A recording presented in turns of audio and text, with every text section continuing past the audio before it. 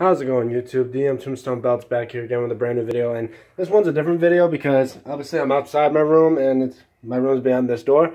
Been doing some renovations, home renovations and obviously it's not done quite yet. We just got one little thing to do but I'm going to show you what it looks like so far. It's hard to do now because all the stuff that's been going on and uh, obviously don't want to want to keep you know problems of the world out from my videos because you know, the less I worry about it, the better.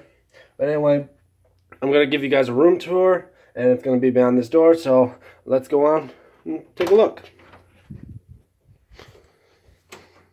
Obviously, the bed's still there. You see the old blanket hanged up. Uh, if my camera was stop being so blurry, it's the Red Wings banner. Yeah, I have to go forward because it looks so damn blurry in the camera. The cardboard's still there. I got to think about getting rid of it. Got some pictures hanging up on the wall, you know, don't want to mention all this, the family photos, and obviously, yeah, I have a Randy Orton uh, plaque right there. Uh, Superman and Simpson stuff. Red Wings. Uh, Willy Wonka's golden ticket chocolate bar wrapper. Excuse me, guys. Bit of my hats hanging up against the wall. The Stanley Cup with the Money in the Bank and the two world titles the WWE title and the Raw's Universal title. Along with all these, and including little knickknacks in the display case now.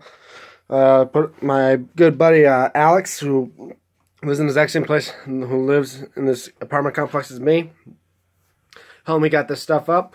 he put up the shelves. So here's a shelf for my Xbox, a little shelf for my knickknacks, like the Dragon Ball box that was actually the Stanley Cup was hanging on. Didn't want that.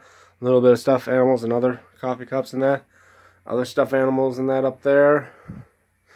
And of course, guys, the shelf with all the new current things. Like here, the United States spinner, which I've told in the last video, I was made do a video of what it looks like now.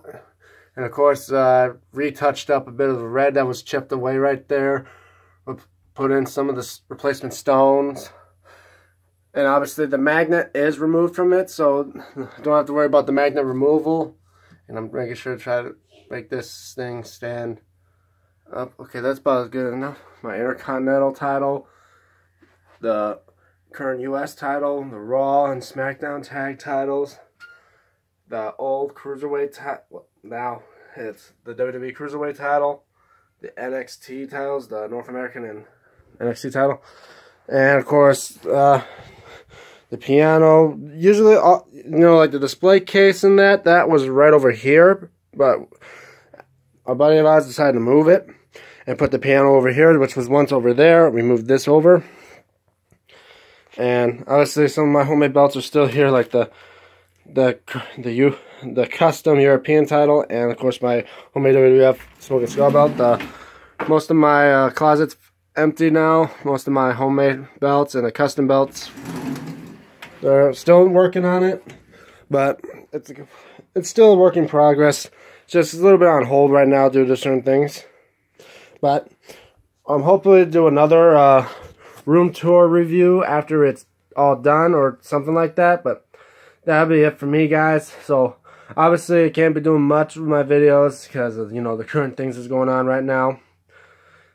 But I still keep you guys updated. I still try to post as much videos as I can. So Hope you guys enjoyed this video. Don't forget to like it. Don't forget to share. Don't forget to subscribe.